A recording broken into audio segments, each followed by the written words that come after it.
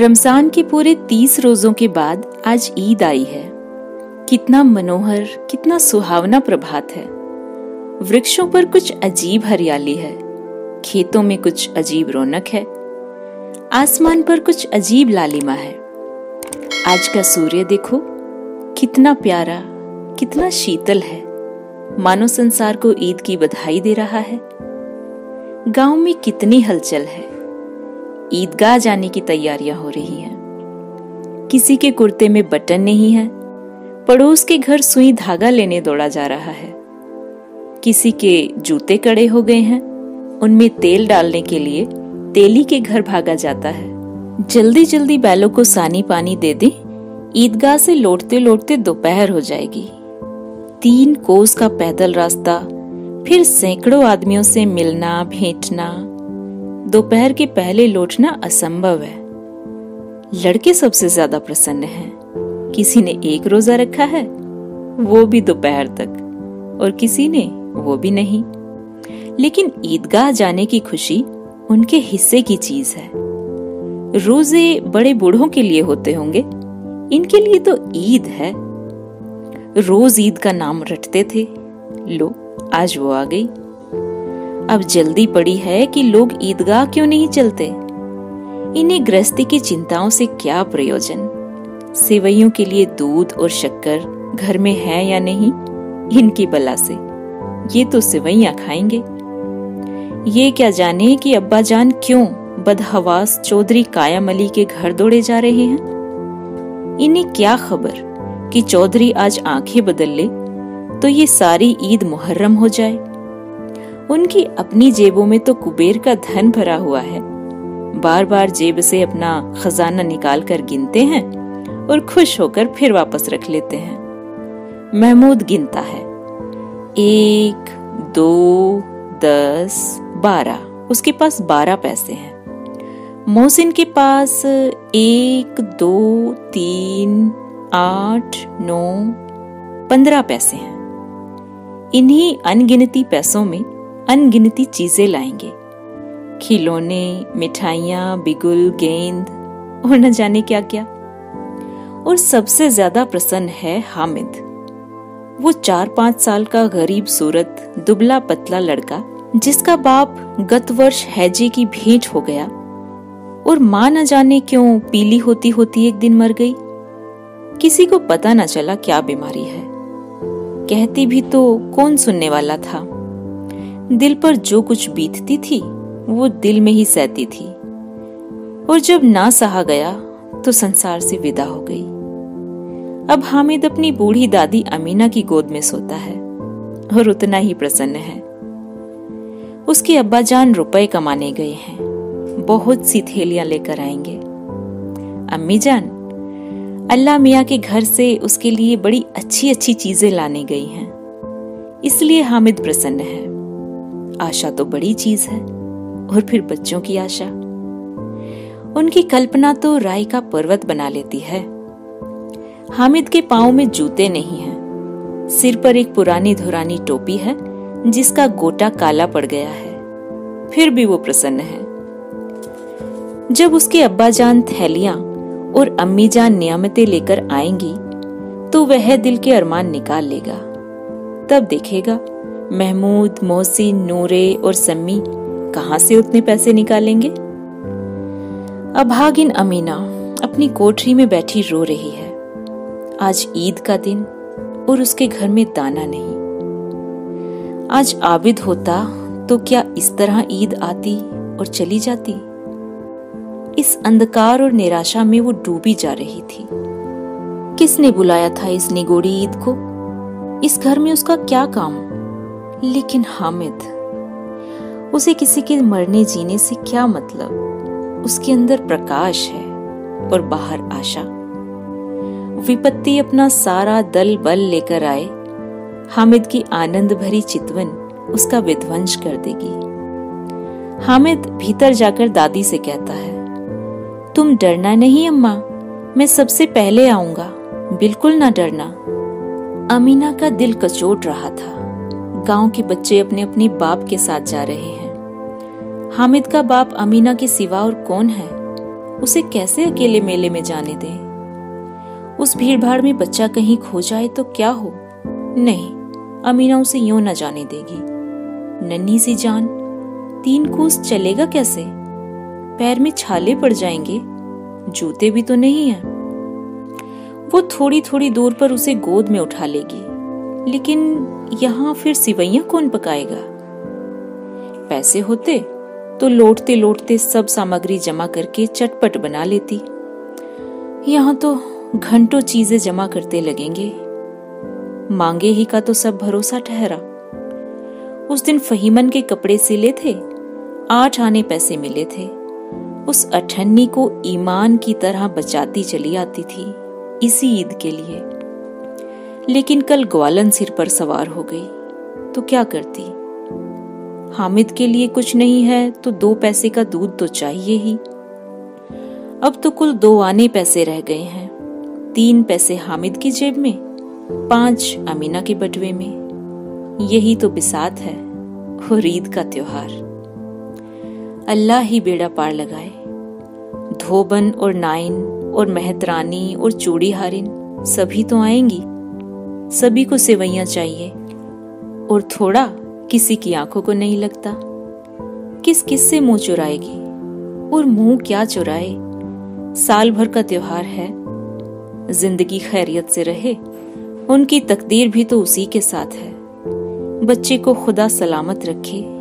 ये दिन भी कट जाएँगे। गाँव से मेला चला। और बच्चों के साथ हामिद भी जा रहा था। कभी सबके सब दौड़कर आगे निकल जाते, फिर किसी पेड़ के नीचे खड़े होकर साथ वालों का इंतज़ार करते। ये लोग क्यों इतना धीरे चल रहे हैं? हामिद के पैरों में तो जैसे पर लग गए हैं। वो कभी थक सकता है? खैर, शहर का दामन आ गया। सड़क के दोनों ओर अमीरों के बगीचे हैं। पक्की चार दीवारी बनी हुई है। पेड़ों में आम और लीचियाँ लगी हुई हैं। कभी कभी कोई लड़का कंकड़ी उठाकर आम पर निशाना लगाता है। माली अंदर से गाली देता हुआ निकलता है। लड़के वहाँ से एक फरलांग पर हैं, खूब हंस रहे हैं। माली को कैसे उल्लू बनाया? बड़ी बड़ी इमारतें आने लगी। ये अदालत है, ये कॉलेज है, ये क्लब घर है। इतने बड़े कॉलेज में कितने लड़के पढ़ते होंगे? सब लड़के नहीं हैं जी बड़े बड़े आदमी हैं। सच उनकी बड़ी बड़ी मूछे हैं। इतने बड़े हो गए, अभी तक पढ़ने जाते हैं। न जाने कब तक पढ़ेंगे। और क्या करेंगे इतना पढ़कर? हामिद के मदरसे में तो दो तीन लड़के बड़े बड़े हैं। बिल्कुल तीन कोड़ी के रोज मार खाते हैं। काम से जी चुराने वाले। इस जगह भी उसी तरह के लोग होंगे, और क्या? क्लब घर में जादू होता है। सुना है यहाँ मुर्दे की खोपड़ियाँ दौड़ती हैं और बड़े बड़े तमाशे होते हैं, पर किसी को अंदर नहीं जाने देते। और यहाँ शाम को साहब लोग खेलते हैं बड़े बड़े आदमी खेलते हैं, मूछो दाढ़ी वाले और मेमे खेलती हैं, सच? हमारी अम्मा को वो दे दो, वो वो क्या नाम है? हाँ बैट तो उसे पकड़ ही ना सके, घुमाते ही लुढ़क ना जाए। महमूद ने कहा हमारी अम्मी जान का तो हाथ कांपने लगे, अल्लाह कसम। मोहसिन बोला, अम्मी मनो आटा पीसती हैं, जरा सा बैट पकड़ लेंगी तो हाथ कांपने लगेंगे। सैकड़ों घड़े पानी रोज निकालती हैं। अरे, पाँच घड़े तो मेरी भैंस पी जाती है। किसी मेम को एक घड़ा पानी भरना पड़े तो आँखों तले अंधेरा आ जाए। महमूद, लेकिन दौड़ती तो नहीं उछल कूद तो नहीं कर सकती। मोहसिन। हाँ उछल कूद नहीं कर सकती। लेकिन उस दिन मेरी गाय खुल गई थी और चौधरी के खेत में जा पड़ी थी। तो अम्मा इतनी तेज दौड़ी कि मैं उन्हें पकड़ ना सका, सच। आगे चले। हलवाइयों की दुकानें शुरू हुई। आज खूब सजी हुई थी। इतनी मिठाइयाँ कौन खाता है? देखो ना एक एक दुकान पर मनो मनो होंगी। सुना है रात को जिन्नात आकर खरीद ले जाते हैं। अब्बा कहते थे कि आधी रात को एक आदमी हर दुकान पर जाता है और जितना माल बचा होता है वो सब तुलवा लेता है और सचमुच के रुपए देता है। हाँ बिल्कुल ऐसे ही रुपए। हामिद को यकीन न आया ऐसे रुपए जिन्नात को कहाँ से मिल जाएँगे? मोहसिन ने कहा जिन्नात को रुपए की क्या कमी? जिस खजाने में चाहे चले जाएँ, लोहे के दरवाजे तक उन्हें नहीं रोक सकते। आप हैं किस फेर में? हीरे जवाहरात तक उनके पास रहते हैं? जिससे खुश हो गए, उसे टोकरों जवाहरात दे दिए। अभी यहीं बैठे हैं, पाँच मिनट में कहो कलकत्ता पहुँच जाएँ। हामिद ने फिर पूछा, जिन्नात बहुत बड़े बड़े होते होंगे? मोहसिन एक एक आसमान के बराबर होता है जी। ज़मीन पर खड़ा हो जाए तो उसका सिर आसमान से जा लगे। मगर चाहे तो एक लोटे में घुस जाए। हामिद, लोग उन्हें कैसे खुश करते होंगे? कोई मुझे वो मंत्र बता दे तो एक जिन को मैं भी खुश कर लूँ। मोहसिन, अब ये तो मैं नहीं जानता, लेकिन चौधरी साहब के काबू में बहुत से जिन्नात हैं। कोई चोरी हो जाए, चौधरी साहब उसका पता लगा देंगे और चोर का नाम भी बता देंगे। जुमराती का बछवा उस दिन खो गया था तीन दिन हैरान हुए, कहीं ना मिला। तब झक मारकर चौधरी के पास गए। चौधरी ने तुरंत बता दिया कि मवेशी खाने में है, और वही मिला। जिन्नात आकर उन्हें सारे जहान की खबरें दे जाते हैं। अब उसकी समझ में आ गया कि चौधरी के पास इतना धन है, वो क्यों है, और क्यों उनका इतना सम्मान है। आगे चले। ये पुलिस लाइन है। यहीं सब कांस्टेबल कवायद करते हैं। रात को बेचारे घूम घूम कर पैरा देते हैं। नहीं चोरियाँ हो जाएँ। मोहसिन ने प्रतिवाद किया। ये कांस्टेबल पहरा देते हैं। तभी तुम बहुत जानते हो, अजी हज़रत यही चोरी करवाते हैं। शहर के जितने चोर डाकू हैं, सब इनसे मिले रहते हैं। रात को ये लोग चोरों से तो कहते हैं, चोरी करो और आप दूसरे मोहल्ले में जाकर जागते रहो जागते रहो, पुकारते हैं। जब भी इन लोगों के पास इतने रुपए आते हैं, मेरे मामू एक थाने में कांस्टेबल हैं, बीस रुपए महीना पाते हैं, लेकिन पचास रुपए घर बेचते हैं। अल्लाह कसम, मैंने एक बार पूछा था कि मामू, आप इतने रुपए कहाँ से पाते हो? हंस कर कहने लगे, बेटा, अल्लाह देता है। फिर आप ही बोले, हम लोग चाहें तो एक दिन में लाखों मार लाएँ हम तो इतना ही लेते हैं जिसमें अपनी बदनामी ना हो और नौकरी ना चली जाए। हामिद ने पूछा, ये लोग चोरी करवाते हैं? तो कोई इन्हें पकड़ता क्यों नहीं? मोहसिन उसकी नादानी पर दया दिखाकर बोला, अरे पागल, इन्हें कौन पकड़ेगा? पकड़ने वाला तो ये खुद है। लेकिन अल्लाह इन्हें सजा भी खूब देता है। हराम का माल हराम में ही जाता है। थोड़े ही दिन हुए मामू के घर में आग लग गई। सारी लेई पूंजी जल गई। एक बर्तन तक ना बचा।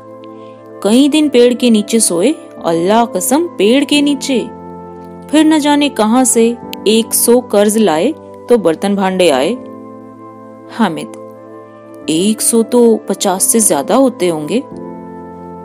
कहा पचास, कहा एक सौ? पचास एक थैली भर होता है। सौ तो दो थैलियों में भी ना आए। अब बस्ती घनी होने लगी थी। ईदगाह जाने वालों की टोलियाँ नज़र आने लगी। एक से एक भड़कीले वस्त्र पहने हुए, कोई इक्के तांगे पर सवार, कोई मोटर पर, सभी इत्र में बसे, सभी के दिलों में उमंग। ग्रामीणों का ये छोटा सा दल अपनी विपन्नता से बेखबर, संतोष और धैर्य में मगन चला जा रहा था। बच्चों के लिए नगर की सभी चीज़ें अनोखी थी। जिस चीज़ की ओर ताकते ताकते ही रह जाते और पीछे से बार बार हॉर्न की आवाज़ होने पर भी न चेतते। हामिद तो मोटर के नीचे जाते जाते बचा। सहसा ईदगाह नज़र आया। ऊपर इमली के घने वृक्षों की छाया, नीचे पक्का फर्श, जिस पर जाजिम बिछा हुआ है, और रोजेदारों की पंक्तियाँ एक के पीछे एक, न जाने कहाँ तक चली गई है। पक्के जगत के नीचे तक, जहाँ जाजिम भी नहीं है। नए आने वाले आकर पीछे की कतारों में खड़े हो जाते हैं। आगे जगह नहीं है। यहाँ कोई धन और पद नहीं देखता। इस्लाम की निगाह में सब बराबर हैं। इन ग्रामीणों ने भी वुजू किया और पिछली पंक्ति में जाकर खड़े हो गए। कितना सुंदर संचालन है। कितनी सुंदर व्यवस्था। लाखों सिर एक साथ सजदे में झुक जाते हैं। फिर सब के सब एक साथ खड़े हो जाते हैं। एक साथ झुकते हैं और एक साथ घुटनों के बल बैठ जाते हैं। कई बार यही क्रिया होती है। जैसे बिजली की लाखों बत्तियाँ एक साथ प्रदीप्त हों और एक साथ बुझ जाएँ और यही क्रम चलता रहे। कितना अपूर्व दृश्य था, जिसकी सामूहिक क्रियाएँ विस्तार और अनंतता, हृदय को श्रद्धा, गर्व और आत्मानंद से भर देती थी। मानो भ्रातृत्व का एक सूत्र इन समस्त आत्माओं को एक लड़ी में पिरोए हुए था। नमाज़ खत्म हो गई है। लोग आपस में गले मिल रहे हैं। तब मिठाई और खिलौनों की दुकानों पर धावा होता है। ग्रामीणों का ये दल इस विषय में बालकों से कम उत्साही नहीं है। ये देखो, हिंडोला है। एक पैसा देकर चढ़ जाओ। कभी आसमान पर जाते हुए मालूम होंगे और कभी ज़मीन पर गिरते हुए। ये चरखी है। लकड़ी के हाथी, घोड़े, ऊँट छड़ों से लटके हुए हैं। एक पैसा देकर बैठ जाओ और पच्चीस चक्करों का मज़ा लो। महमूद और मोहसिन और नूरे और सम्मी इन घोड़ों और ऊंटों पर बैठते हैं। हामिद दूर खड़ा है। तीन ही पैसे तो हैं उसके पास। अपने कोष का तिहाई जरा सा चक्कर खाने के लिए नहीं दे सकता। सब चरखियों से उतरते हैं। अब खिलौने लेंगे। इधर दुकानों की कतार लगी हुई है। तरह तरह के खिलौने हैं। सिपाही और गुजरिया, राजा और वकील, भिश्ती और धोबिन और साधु। वाह, कितने सुंदर खिलौने हैं। अब जैसे बोल ही पड़ेंगे। महमूद सिपाही लेता है, खाकी वर्दी और लाल पगड़ी वाला। कांधे पर बंदूक रखे हुए। मालूम होता है, अभी कवायद किए चला आ रहा है। मोहसिन को भिश्ती पसंद आया। कमर झुकी है, ऊपर मशक रखे हुए है। मशक का मुँह एक हाथ से पकड़े हुए है। कितना प्रसन्न है। शायद कोई गीत गा रहा है। बस, मशक से पानी उड़ेलना ही चाहता है। नूरे को वकील से प्रेम है। कैसी विद्वता है उसके मुख पर। काला चोगा नीचे सफ़ेद अचकन अचकन के सामने की जेब में घड़ी, सुनहरी जंजीर, एक हाथ में कानून का पोथा लिए हुए। मालूम होता है, अभी किसी अदालत से जिरह या बहस किए चले आ रहे हैं। ये सब दो दो पैसे के खिलौने हैं। हामिद के पास कुल तीन पैसे हैं। इतने महँगे खिलौने वो कैसे ले? खिलौना कहीं हाथ से छूट पड़े तो चूर चूर हो जाए। जरा पानी पड़े तो सारा रंग धुल जाए। ऐसे खिलौने लेकर वो क्या करेगा? किस काम के? मोहसिन, मेरा भिश्ती रोज पानी दे जाएगा, साँझ सवेरे। महमूद, और मेरा सिपाही घर का पहरा देगा, और कोई चोर आएगा तो फ़ौरन बंदूक से फायर कर देगा। नूरे, और मेरा वकील खूब मुकदमा लड़ेगा। समी, और मेरी धोबिन रोज कपड़े धोएगी। हामिद खिलौनों की निंदा करता है। मिट्टी ही के तो हैं। गिरे तो चकनाचूर हो जाए।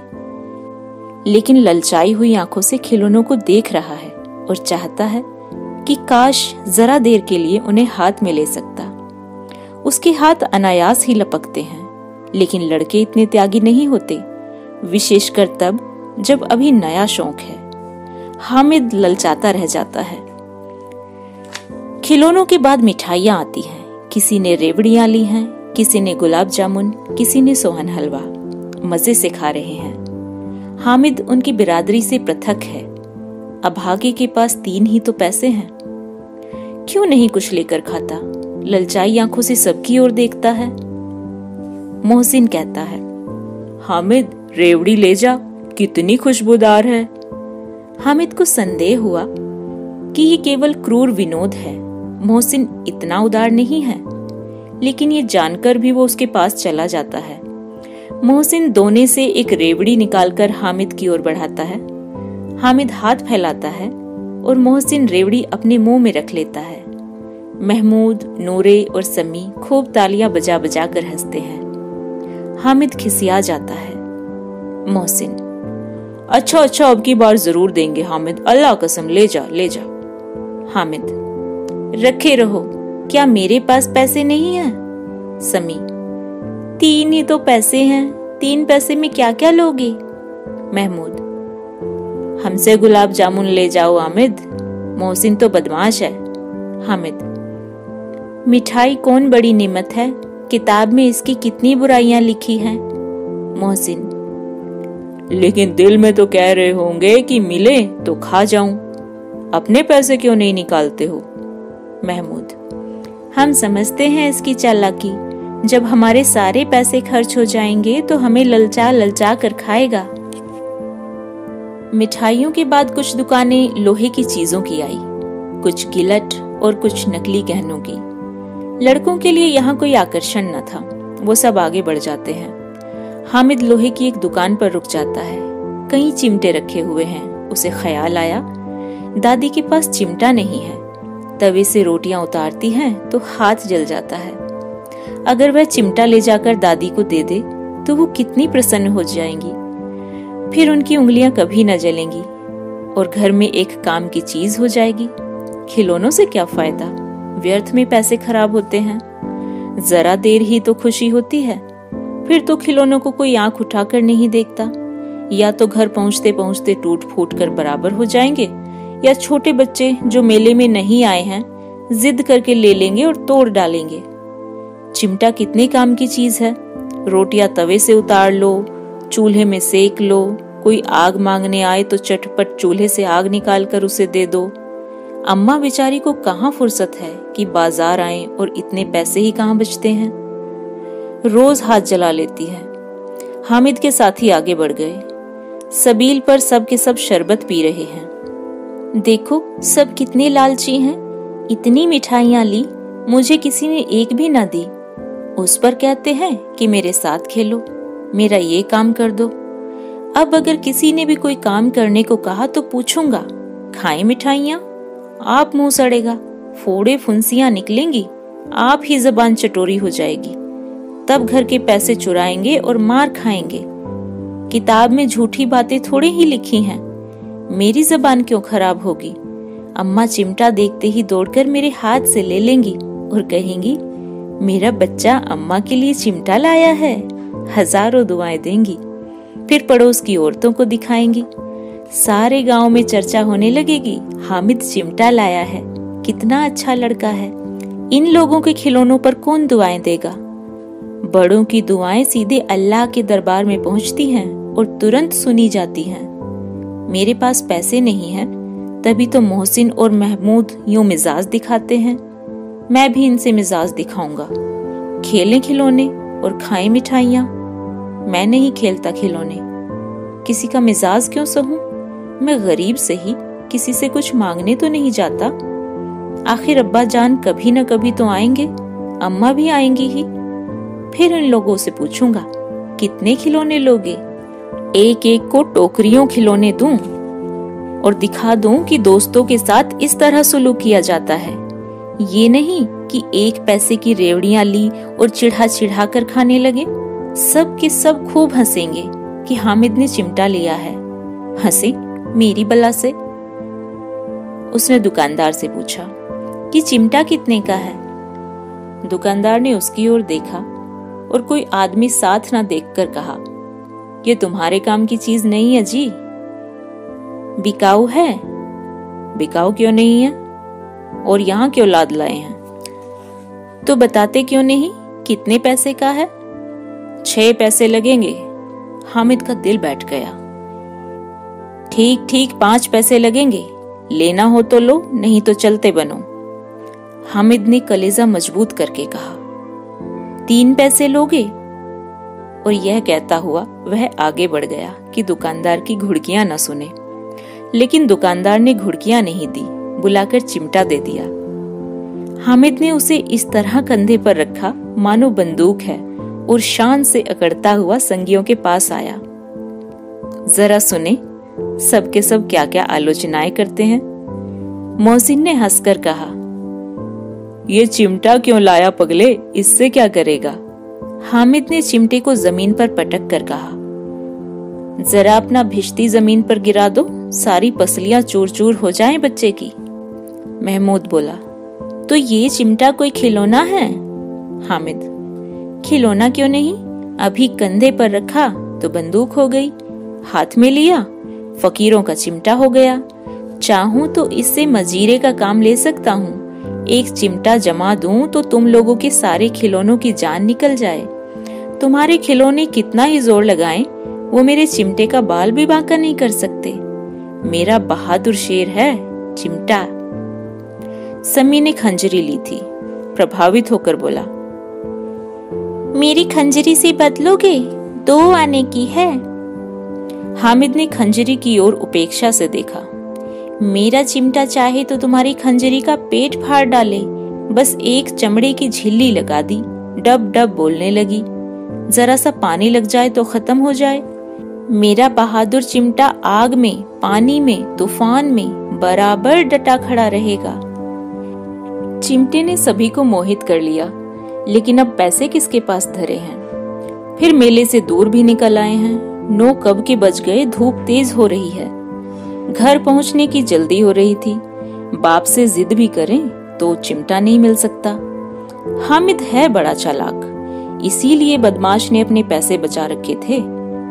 अब बालकों के दो दल हो गए हैं, मोहसिन, महमूद सम्मी और नूरे, एक तरफ़ हैं। हामिद अकेला दूसरी तरफ़, शास्त्रार्थ हो रहा है। सम्मी तो विधर्मी हो गया, दूसरे पक्ष से जा मिला, लेकिन मोहसिन, महमूद और नूरे भी हामिद से एक एक दो दो साल बड़े होने पर भी हामिद के आघातों से आतंकित हो उठे हैं। उसके पास न्याय का बल है और नीति की शक्ति। एक और मिट्टी है दूसरी ओर लोहा। जो इस वक्त अपने को फौलाद कह रहा है वह अजय है घातक है। अगर कोई शेर आ जाए तो मियाँ भिश्ती के छक्के छूट जाएँ, मियाँ सिपाही मिट्टी की बंदूक छोड़कर भागे। वकील साहब की नानी मर जाए चोगे में मुँह छिपाकर ज़मीन पर लेट जाएँ। मगर यह चिमटा, यह बहादुर, यह रुस्तमे हिंद, ललकार कर शेर की गर्दन पर सवार हो जाएगा और उसकी आँखें निकाल लेगा। मोहसिन ने एड़ी चोटी का ज़ोर लगाकर कहा अच्छा पानी तो नहीं भर सकता? हामिद ने चिमटे को सीधा खड़ा करके कहा, भिश्ती को एक डांट बताएगा तो दौड़ा हुआ पानी लाकर उसके द्वार पर छिड़कने लगेगा? मोहसिन परास्त हो गया, पर महमूद ने कुमक पहुंचाई। अगर बच्चा पकड़ा जाए तो अदालत में बंधे बंधे फिरेंगे, तब वकील साहब के ही पैरों पड़ेंगे। हामिद इस प्रबल तर्क का जवाब न दे सका। उसने पूछा, हमें पकड़ने कौन आएगा? नूरे ने अकड़ कर कहा, ये सिपाही, बंदूक वाला? हामिद ने मुँह चिढ़ा कर कहा, यह बेचारे हमारे बहादुर रुस्तमे हिंद को पकड़ेंगे। अच्छा लाओ, अभी जरा कुश्ती हो जाए। इसकी सूरत देखकर दूर से भागेंगे, पकड़ेंगे क्या बेचारे? मोहसिन को एक नई चोट सूझ गई। तुम्हारे चिमटे का मुँह रोज आग में जलेगा। उसने समझा था कि हामिद लाजवाब हो जाएगा, लेकिन ये बात ना हुई। हामिद ने तुरंत जवाब दिया, आग में बहादुर ही कूदते हैं जनाब। तुम्हारे ये वकील, सिपाही और भिश्ती लौंडियों की तरह घर में घुस जाएँगे। आग में कूदना वो काम है जो रुस्तमे हिंद ही कर सकता है, समझे? महमूद ने एक ज़ोर लगाया। वकील साहब कुर्सी मेज पर बैठेंगे, तुम्हारा चिमटा तो बावर्ची खाने में ज़मीन पर पड़ा रहेगा। इस तर्क ने समी और नूरे को भी सजीव कर दिया। कितनी ठिकाने की बात कही है पट्टे ने। चिमटा बावर्ची खाने में पड़े रहने की सिवा और क्या कर सकता है? हामिद को कोई फड़कता हुआ जवाब न सूझा तो उसने धांधली शुरू की। मेरा चिमटा बावर्ची खाने में नहीं रहेगा। वकील साहब कुर्सी पर बैठेंगे तो जाकर उन्हें ज़मीन पर पटक देगा और उनका कानून उनके पेट में डाल देगा। बात कुछ बनी नहीं। खासी गाली गलोच थी। कानून को पेट में डालने वाली बात छा गई। ऐसी छा गई कि तीनों सूरमा मुँह ताकते रह गए। मानो कोई धेलचा कनकोवा किसी गंडे वाले कनकोवे को काट गया हो। कानून मुँह से बाहर निकलने वाली चीज़ थी। उसको पेट के अंदर डाल दिया जाए तो बेतुकी सी बात होने पर भी कुछ नयापन रखती है। हामिद ने मैदान मार लिया। उसका चिमटा रुस्तमे हिंद है। अब इसमें मोहसिन, महमूद, नूरे, सिमी किसी को भी आपत्ति नहीं हो सकती। विजेता को हराने वालों से जो चमत्कार मिलना स्वाभाविक है वह हामिद को भी मिला। औरों ने तीन तीन चार चार आने पैसे खर्च किए, पर कोई काम की चीज़ ना ले सके। हामिद ने तीन पैसे में रंग जमा लिया। सच ही तो है। खिलौनों का क्या भरोसा? टूट फूट जाएँगे। हामिद का चिमटा बना रहेगा बरसों तक। संधि की शर्त तय होने लगी। मोहसिन ने कहा, जरा अपना चिमटा दो, हम भी देखें। तुम हमारा भिश्ती लेकर देख लो। महमूद और नूरे ने भी अपने अपने खिलौने पेश किए। हामिद को इन शर्तों के मानने में कोई आपत्ति न थी। चिमटा बारी बारी से सबके हाथ में गया और उनके खिलौने बारी बारी से हामिद के हाथ में आए। कितने खूबसूरत खिलौने हैं। हामिद ने हारने वाले के आँसू पोछे। मैं तुम्हें चिढ़ा रहा था, सच। ये लोहे का चिमटा भला इन खिलौनों की क्या बराबरी करेगा? मालूम होता है। अब बोले अब बोले। लेकिन मोहसिन की पार्टी को इस दिलासे से संतोष नहीं होता। चिमटे का सिक्का खूब बैठ गया है। चिपका हुआ टिकट अब पानी से नहीं छूट रहा है। मोहसिन, लेकिन इन खिलौनों के लिए कोई हमें दुआ तो न देगा? महमूद, दुआ को लिए फिरते हो, उल्टे मार ना पड़े। अम्मा ज़रूर कहेंगी कि मेले में मिट्टी के खिलौने मिले तुम्हें। हामिद को स्वीकार करना पड़ा। कि खिलौनों को देखकर किसी की भी माँ इतनी खुश न होंगी, जितनी दादी चिमटे को देखकर होंगी। तीन पैसों ही में तो उसे सब कुछ करना था, और उन पैसों के इस उपयोग पर पछतावे की बिल्कुल ज़रूरत न थी। फिर अब तो चिमटा रुस्तमे हिंद है और सभी खिलौनों का बादशाह। रास्ते में महमूद को भूख लगी। उसके बाप ने केले खाने को दिए। महमूद ने केवल हामिद को साजी बनाया। उसके अन्य मित्र मुँह ताकते रह गए। यह उस चिमटे का ही प्रसाद था। ग्यारह बजे सारे गाँव में हलचल मच गई, मेले वाले आ गए। मोहसिन की छोटी बहन ने दौड़कर भिश्ती उसके हाथ से छीन लिया और मारे खुशी के जो उछली तो मियाँ भिश्ती नीचे आ गिरी और सुरलोक सिधारे। इस पर भाई बहन में खूब मारपीट हुई, दोनों खूब रोए। उनकी अम्मा ये शोर सुनकर बिगड़ी और दोनों को ऊपर से दो दो चाटे और लगाए। मियाँ नूरे के वकील का अंत, उसके प्रतिष्ठानुकूल, इससे ज़्यादा गौरव में हुआ। वकील ज़मीन पर या ताक पर तो नहीं बैठ सकता।